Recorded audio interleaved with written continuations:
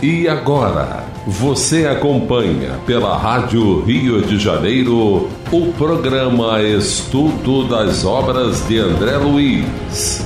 Um programa que traz a reflexão e o estudo da doutrina baseados nos livros do Espírito André Luiz. Apresentação: Deusa Nogueira e Berenice Lima. Estamos nós no capítulo 6, né?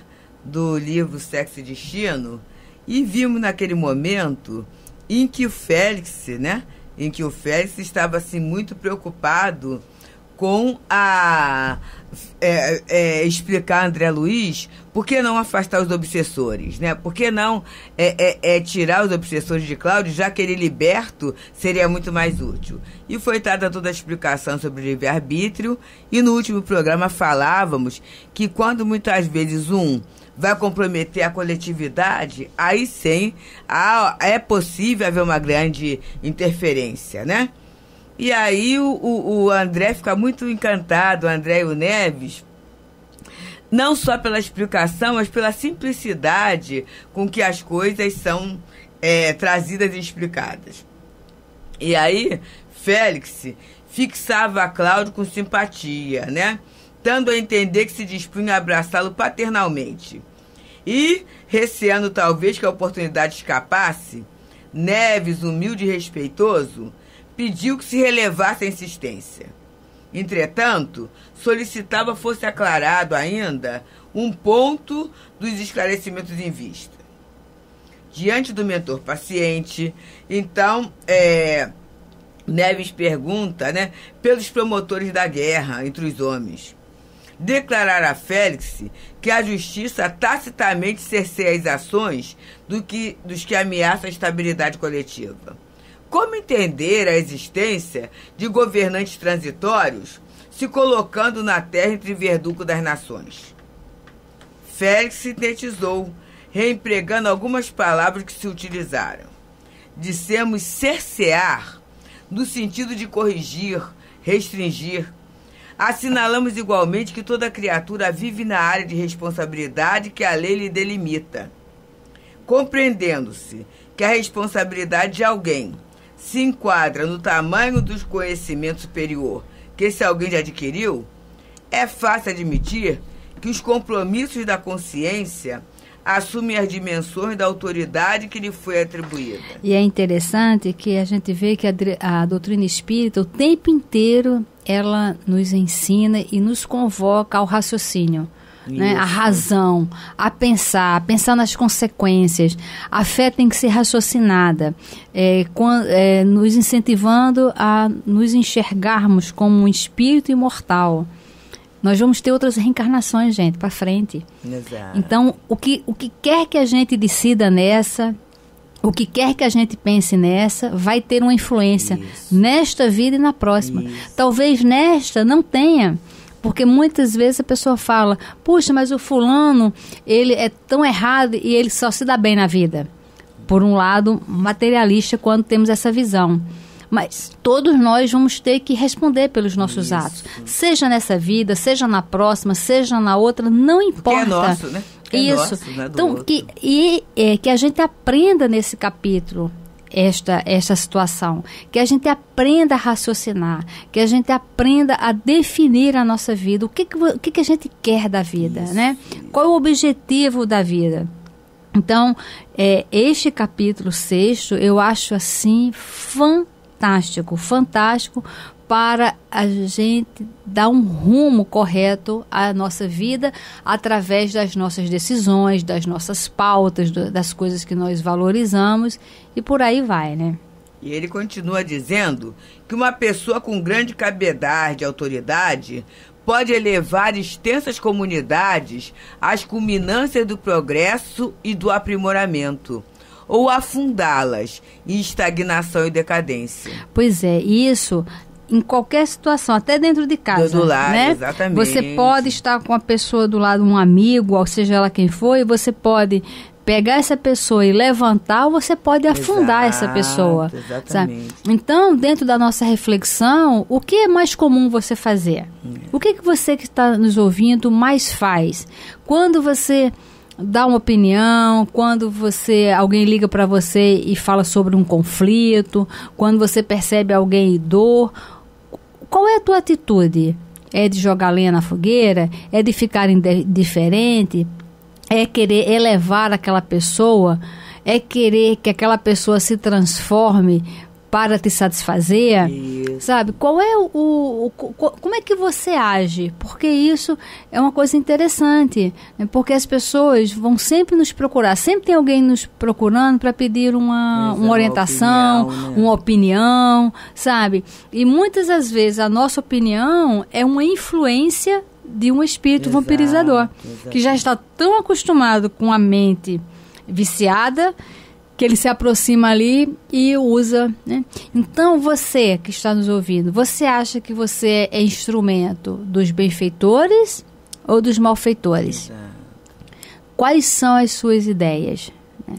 E aí, ele coloca, né? Isso na medida exata das atitudes que tome para o bem ou para o mal.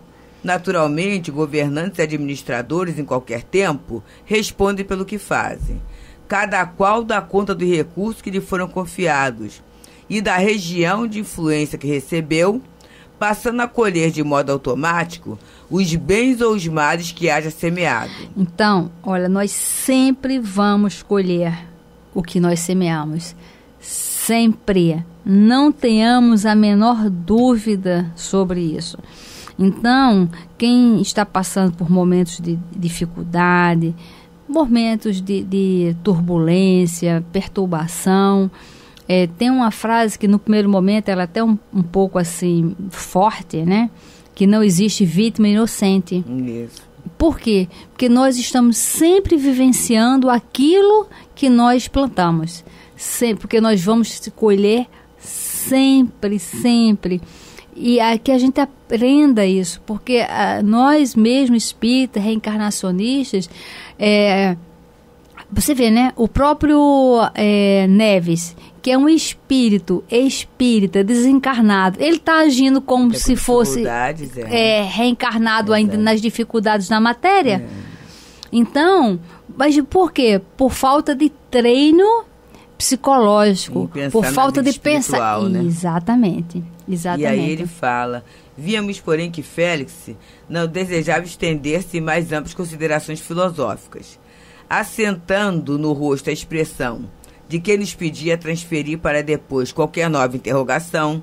Acercou-se de Cláudio a envolvê-lo nas suaves irradiações do olhar brando e percussiente estabeleceu-se ligeira e doce expectativa. O perfeitor acusava-se emocionado. Parecia agora mentalmente distanciado no tempo.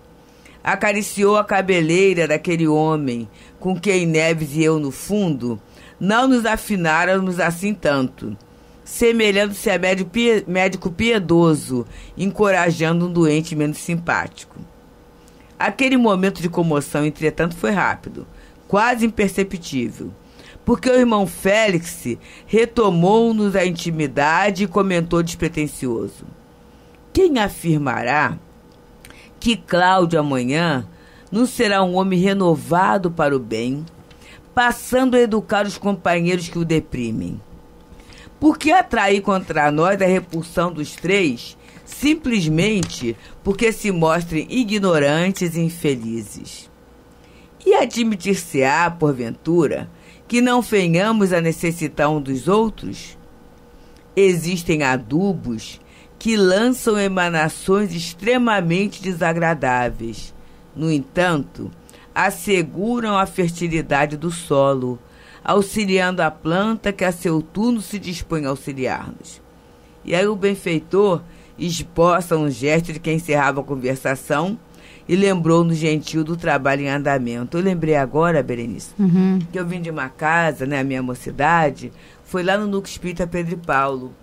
E a gente teve no irmão Walter, né? Um médium, uma pessoa que tinha imperfeições, claro, mas um trabalhador incansável no bem.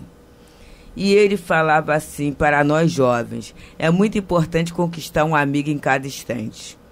E aí a gente fala assim, ah, mas o que, que é isso? É você ser é, é, molinho, né? É você não ter caráter, personalidade? Não.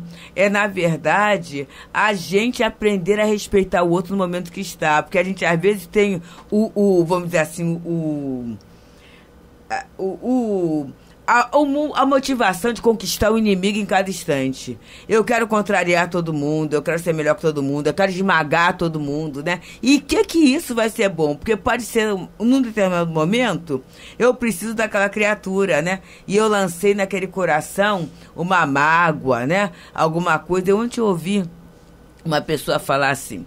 Eu ouvia na minha infância é, as pessoas falam que palavras o vento leva. Depois que eu me tornei espírita, eu vi que isso é uma grande mentira. Porque muitas vezes, né, uma palavrinha, você acaba lançando no outro uma dor tão grande, uma situação tão grande, que você vai ter que reparar aquilo e sabe lá em que situações. Tá mais né? para semente e, né, e, e, crescer e frutificar do que o vento levar. Não é? né? é? Porque aí você vê, se o Félix aqui desse um carão, ele poderia, ele tem autoridade moral. É, nos espíritos, né, já tinha dois inimigos. Mas no, no Cláudio já seria um desconforto, né? E olha a complicação que ele arrumaria porque não cultivou a amizade, né? É. E quando ele faz esse, ele inicia, né? Quem afirmará que Cláudio amanhã não será um homem renovado para o bem? Isso. É a história de Saulo para Paulo e a história de tantos anônimos. É, o, a, porque quando a gente fala, a gente sempre lembra esses nomes assim, né? É, de grande vulto. E aí dá uma ideia que a gente não vai conseguir nunca. Exato. Mas no livro Voltei, tem um camarada que ele faz que ele desencarna e ele faz parte da equipe dos desencarnados que o próprio Dr. Bezerra vai levar lá para uma colônia espiritual. E quando eles estão para entrar nessa colônia espiritual, vem alguns espíritos ligados a trevas olhando aquele comboio e reconhece que um camarada lá era um assassino. E começa, e você é assassino, assassino. E ele começa a se desestabilizar. E uh, ele olha para o doutor Bezerra e fala: eu, eu, sou um assassino. E o doutor Bezerra, nossa, dá uma Muito lição bom. naquela hora. Fala: é, realmente você cometeu um assassinato. Mas o seu arrependimento e o seu trabalho no bem foi tão intenso, tão verdadeiro e tão grandioso que aí a gente entende, né? Que o amor cobre uma multidão Exatamente. de pecados.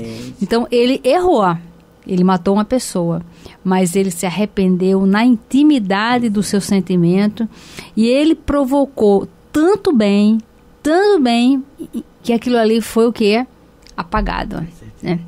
Então, quando ele diz quem afirmará que Cláudio amanhã não será um homem renovado, isso serve para a gente pensar quem sabe que se aquela nossa filha, o nosso filho, a nora, a sogra, Isso. o vizinho, o fulano de tal, não será um homem renovado para o bem, ainda nesta reencarnação.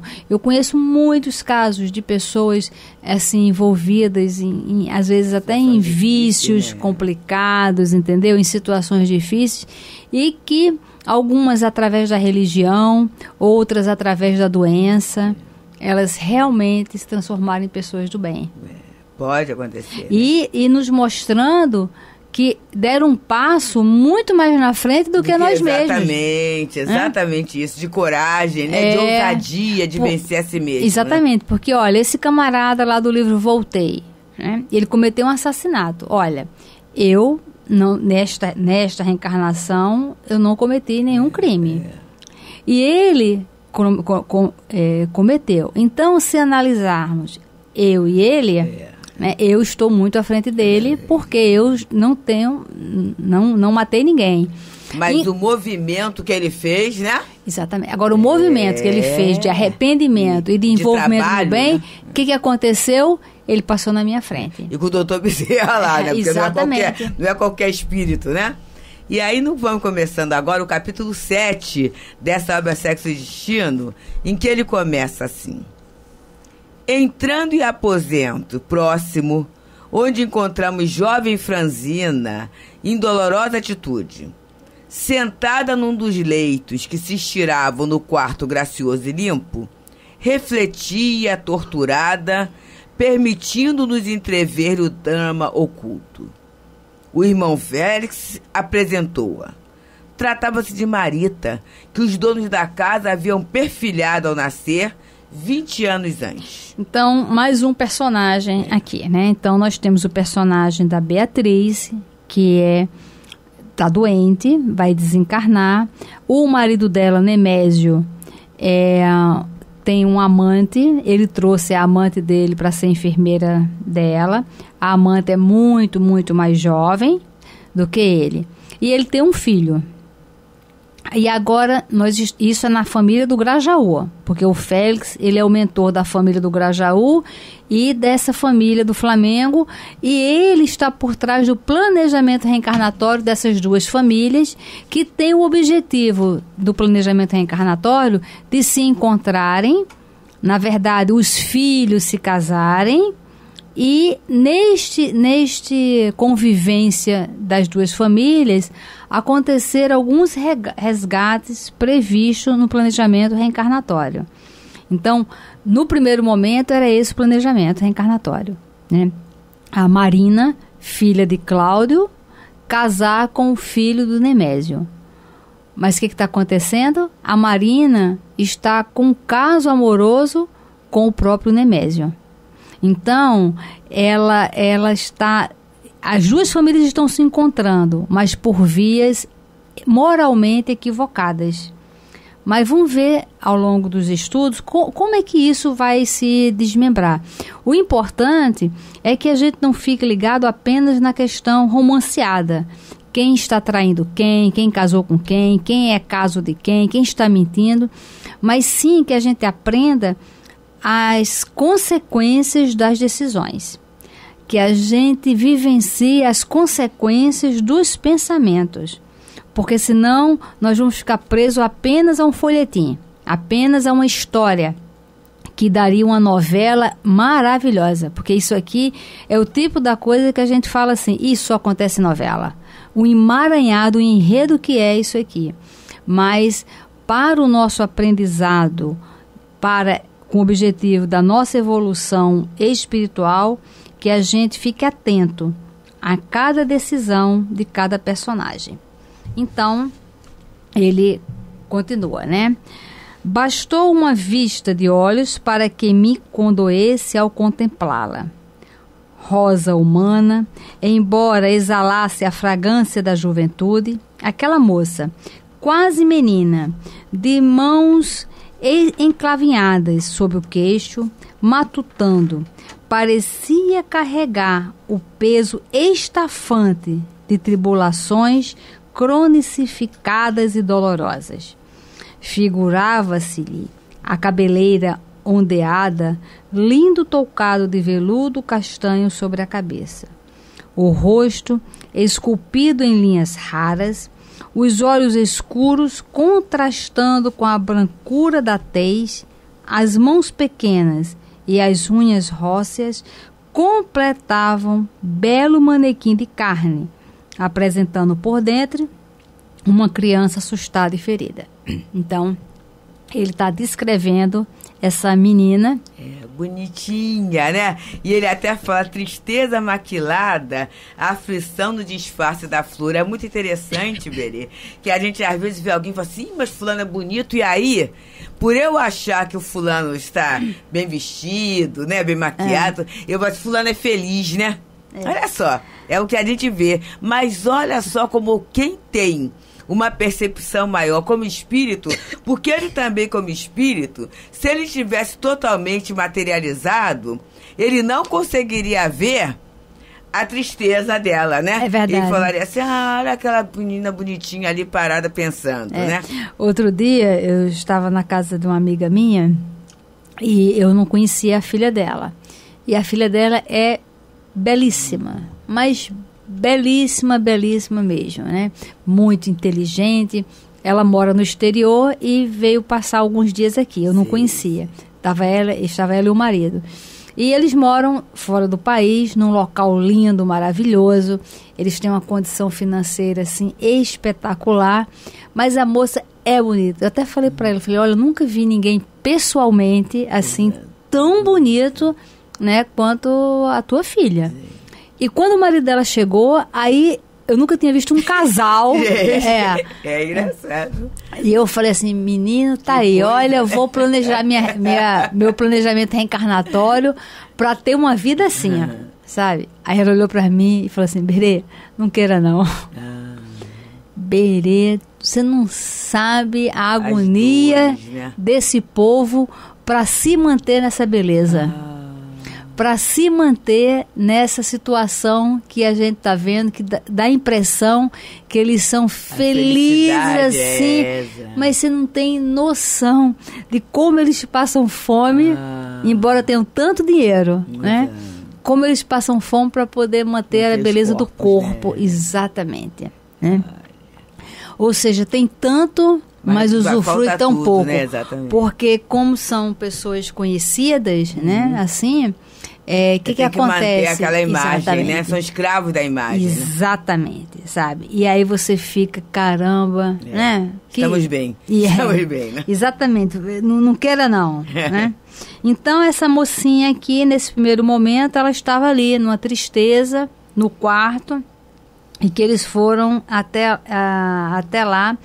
E é muito interessante, porque vejam, dentro da casa o Cláudio estava no, na sala uhum. com dois obsessores atrás da bebida. E essa mocinha está no quarto, numa reflexão, entendeu? Pensando na vida, embora triste, mas pensando na vida. E, como ele diz, o André Luiz fala, né? Obedecendo a instruções de Félix, abordei-a enternecido, rogando-lhe mentalmente algo esclarecesse em torno de si própria.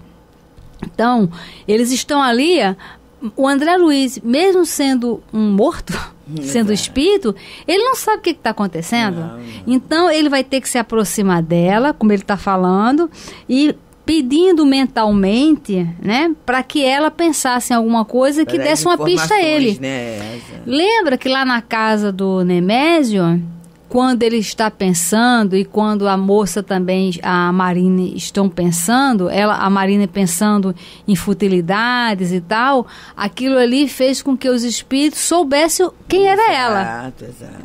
Então, os é nossos que é faz, né, que o médico faz. Né? Então, né?